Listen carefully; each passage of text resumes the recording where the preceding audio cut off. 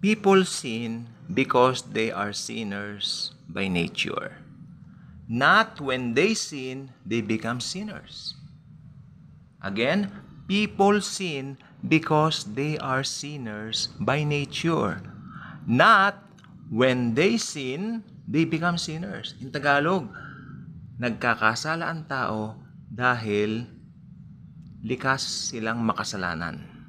Yes. Again, nagkakasala ang tao dahil likas silang makasalanan. Hindi yung pag nagkasala sila, doon lang sila nagiging makasalanan. Alam niyo po bang sinulat ko po ito? Tongue twister po. Pero ganyan po talaga ang nangyayari. Pag nakakita ka ng isang bata, halimbawa 3 years old, nagmura, PI, kanya, likas po sa tao yon. Maski bata po may sinful nature. Good morning everyone. Join me as we explore the truth of the Bible regarding sin. Regarding that men are born sinners. We're born sinners. Why? Dahil sa kasalanan ng ating unang mga magulang. Ito na kwentuhan lang naman po tayo. Maikli lang po ito pero tiyak kapupulutan po natin ng maraming mga revelation at mga katotohanan tungkol sa kasalanan. Marami tayong maling perception sa kasalanan. Huy! Nagkakasala ka ha? Hala ka, lalong dadaming kasalanan mo. No. Sa Diyos, talagang makasalanan siya. Why? Dahil yung sinful nature nandyan sa Kanya. Naka-abide. Pero salamat sa Panginoon, dahil 2,000 years ago, bumaba siya sa lupa, naging tao, yun po ang pinakamagandang mystery. Ang Diyos naging tao. The God of the universe, the God of gods became a human being in order to pay for the penalty or the damages that caused by sin. Okay, so 2,000 years ago, ipinako siya sa krus ng Kalbaryo, sumigaw siya, it is finished. You know what? The moment he shouted, it is finished, the veil of the temple torn from up to down. Mula taas hanggang baba, nahapak. Ibig sabihin, ang Diyos ang naghapak o nagpunit nito. Kasi pag napunit yung veil mula baba hanggang taas, ibig sabihin tao ang gumawa, di ba? So, alam po ba ninyo, napakahalaga ng sigaw ni Jesus Christ, it is finished. Sabi ng iba, Uy, kasama lang yan sa seven last words. No. Actually, sa buong seven last words, ito ang may significance sa lahat. Ma- mahalaga lahat ng wika ng Panginoon. Pero yung it is finished, wow, that's something na, hey, you are welcome now. You are welcome now. Ha? Open ang gloria sa'yo. Open ang gloria. Hindi yung kanta ni Laura, hindi yung kanta ni Laura Branigan, ha? Joke. Open ang gloria. Ang langit na open ang gloria nang sumigaw ang Panginoong Jesus. It is finished. Tetelestai. Ngayon, paano to? People sin because they are sinners by nature. Not when they sin, they become sinners. Paano ngayon yan nung sumigaw si Jesus ng it is finished? Ito po ang mangyayari ngayon dyan. Anyone who believes in Him will have everlasting life. So, nandun yung paanyaya. Namatay siya sa krus, oo. Pero yung tatanggapin ba nila yung libreng alok ng kaligtasan? Nasa kanila po yon. Kaya nga po may mga pangangaral na ganito dito sa YouTube. It's up to you. Tatanggapin mo ba ang libreng alok ng kaligtasan o magmamatigas ka sa puso mo? Alam po ba ninyo, walang ibang daan papunta sa langit maliban kay Jesus. Walang ibang daan o paraan para mahango ka sa impyerno maliban kay Jesus. Tandaan ninyo, pinanganak lahat sa kasalanan, ibig sabihin, lahat ay doomed para pumunta ng impyerno. Lahat ay patungong impyerno. Lahat ay nagkasala, walang matuwid, walang matino, wala kahit isa. Nasa Bible yan. I'm not the one in particular na nagsasabi nito. Nasa Bible po yan. Kung may narinig kayo nangangaral lang yan, sinasabi, nasa Bible po yan. Yan ang totoo. Kaya po may mga preaching ng Gospels, especially right now dito po sa YouTube.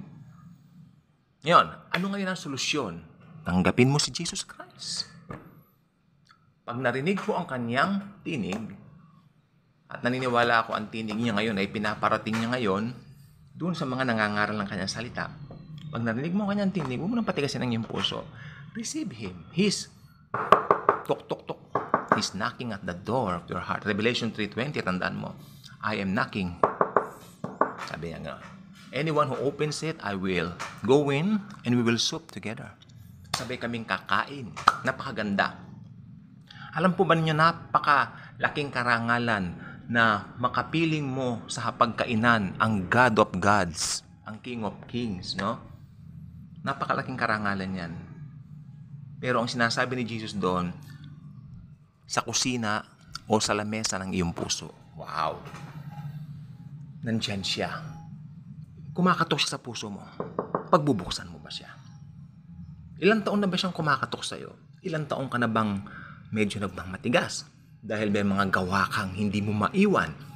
Dahil may mga makamundo kang pagnanasa, mga desire, mga fleshly desire na talagang nangingibabaw na alam mo pag tinanggap mo ang Panginoong Hesus sa buhay mo, hindi mo na magagawa iring mga ire na itong mga bagay na ire na mga ito. Ha? Paano ngayon yan? Tandaan mo, Jesus alone is the way to heaven. Walang ibang daan. Maski may mga aral na ganito, ganyan. Nope. Only Jesus saves. Jesus alone is the solution to sin. Alam mo mangyayari pag tinanggap mo si Jesus, yung sinful nature mo, mawawala yan. Mawawala yan. Uh, take it from me. Dati rin po akong palamura before I came to know the Lord, you know, at uh, nung nakilala ko po siya, hindi po biglaan, unti-unting naalis. Pag nakakapagbitiw ako ng salitang hindi maganda, nalulungkot ako.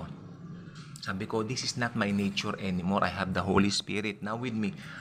Hindi ako dapat nagsasalita ng ganito. Yun ang totoong palatandaan na ikaw ay na born again. Ikaw ay nakakilala. Ang born again hindi po religion. Please, please lang po, huwag niyong isasaksak sa mga isipan ninyo na ang born again ay religion. Hindi po siya religion. Ito po ay isang buhay na relasyon sa Diyos sa pamamagitan ng kanyang anak, ang Panginoong Heso Kristo.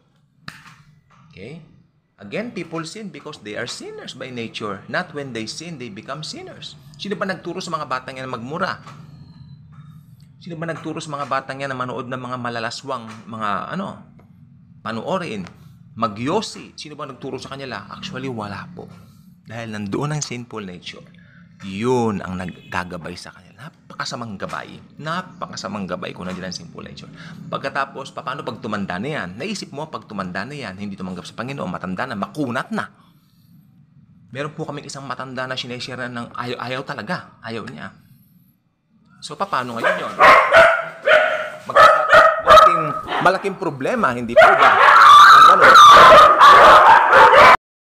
Okay, pardon me sa maingay na aso. May nagtao po po kasi ang mga aso po nararatel kapag kami nagtatao po. At ang masaklap, ang nagtao po, hindi po dito sa amin sa kabilang bahay po. Sana nga po ba tayo? Ayun, ang mga bata po may sinful nature. Okay? So, meron pong nag-guide sa kanila. Other side. Hindi po yung side ng Panginoon. Yung side po ni Satanas. Talagang ginaguide sila. Maski bawalin mo yan. Maski, uy, ganito, uy, ganyan. Hindi. Mahihirapan ka.